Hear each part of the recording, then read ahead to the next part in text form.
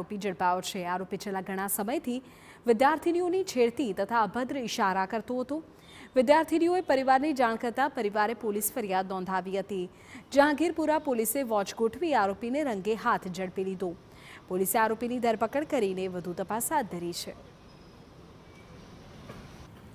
સુરતના જાંગીરપુરા વિસ્તારની ઘટના સામે આવી છે કે જાંગીરપુરા વિસ્તારની અંદર વહેલી સવારે જે બે વિદ્યાર્થીઓને છે જે ટ્યુશને જતી હોય છે તે દરમિયાન છેલ્લા એક અઠવાડિયાથી તેને પીછો કરી અને એક યુવક છે તેમને હેરાન પરેશાન કરતો હતો, તેમની જે છેડતી કરતો હતો અને તેના આધારે જે જહાંગીરપુરા પોલીસની અંદર જે ફરિયાદ નોંધાઈ છે અને તેના આધારે જે સિંગણપુર સુમન નર્સિંગ આવાસમાં રહેતા ઓગણીસ વર્ષીય સચિન જુજાવાડિયાની જે ધરપકડ કરવામાં આવી છે. હકીકત એ રીતની છે કે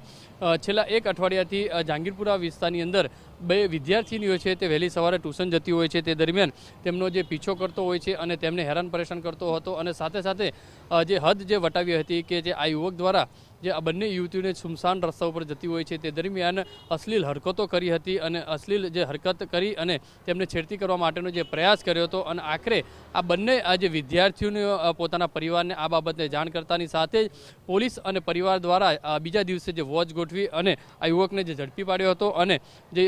વિદ્યાર્થીની દ્વારા જે છે તે જાંગીરપુરા પોલીસ સ્ટેશનની અંદર જે ફરિયાદ નોંધાવતાની સાથે જ જહાંગીરપુરા પોલીસે બીએસએનએસની જે અલગ અલગ જે કલમો છેડતી અને જે ફરિયાદ નોંધી અને હાલમાં જે યુવક જે છે, તેની જે ધરપકડ કરી લીધી છે અને વધુ તપાસ હાથ ધરી છે. પણ મહત્વની વસ્તુ એ છે, ખાસ કરીને આ રીતની જો રોડ રસ્તા ઉપર વિદ્યાર્થીની હોય અથવા કોલેજની અંદર કોઈ આવા જે